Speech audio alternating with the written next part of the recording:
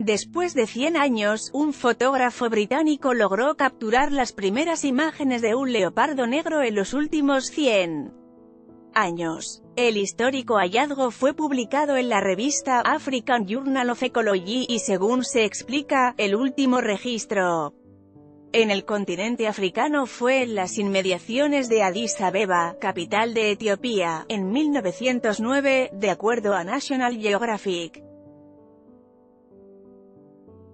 Will Burrard Lucas realizó las imágenes en el mes de enero en la Reserva Natural de Laikipia, en África, con cámaras trampa, automatizadas con sensores diseñadas por él mismo.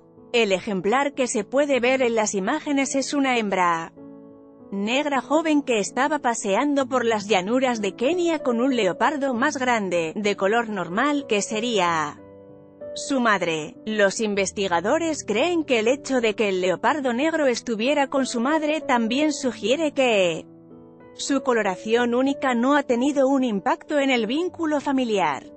Expertos explican que color del pelaje del leopardo negro es el resultado del melanismo. Esta es una mutación genética que resulta en una sobreproducción de pigmento. Cuando comencé este proyecto no pensé que iba a poder lograr una foto de un leopardo negro en África, pero es exactamente lo que hay aquí en la parte posterior de mi cámara. Es la criatura más impresionante y espectacular que he fotografiado.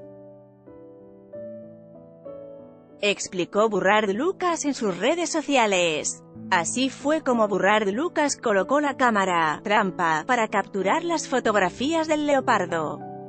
Negro. Es posible que los leopardos negros hayan estado viviendo en Kenia todo el tiempo, pero hasta ahora no había imágenes que confirmaran las observaciones, dijo a CNN Nick Pilfold, científico global del Zoológico de San Diego.